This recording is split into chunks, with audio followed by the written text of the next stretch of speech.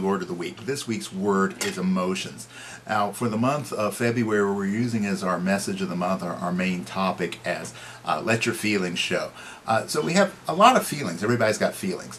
Um, and sometimes it, it, we hold our feelings in.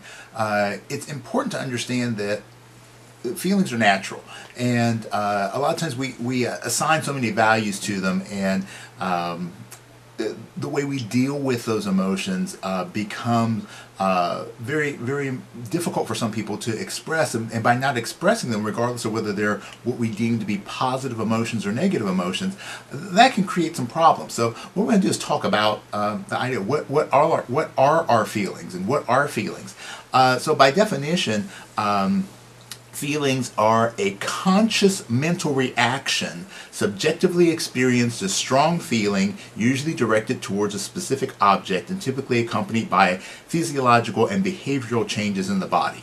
So, uh, it's uh, feelings are very real uh, in one sense, and they're all in your head in another sense. So uh, we perceive something, uh, we have a mental reaction, and that mental reaction creates a physiological change.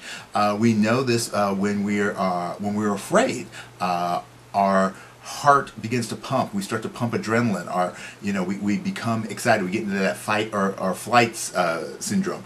Uh, when we're happy, uh, the, the brain secretes specific chemicals that that uh, help us to get that feeling of, uh, the happiness. The uh, the dopamines are released, the the uh, endorphins, and all those those wonderful things. So each uh, change, while it usually occurs, it originates in our brain, it creates a physiological change. Um, the thing that we always have to keep in mind is that, um, you know, a lot of times we try to keep our emotions in check. Um, and that's sometimes it's a good thing. Uh, there, there are times you have to you have to be careful about when and how you express your emotions. But to never express emotions is not a good thing.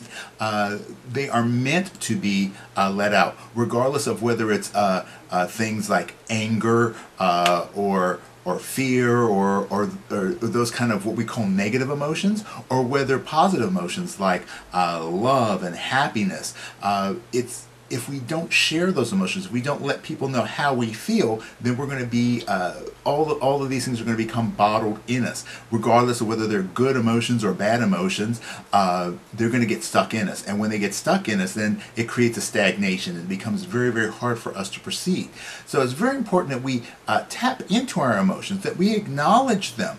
Uh, it doesn't mean that you have to act on them, but they're telling you something. They're uh, giving you a signal uh, that either something's going the way you want it to or something's not going the way that you would like it to. So over the next few weeks, we're going to be talking about a couple of key emotions and uh, these feelings and why it's very important for us to recognize them, acknowledge them, and know how and when uh, to express them uh, to others and to acknowledge them to ourselves. All right, so I hope that you enjoy this week's lesson and I hope to see you next week.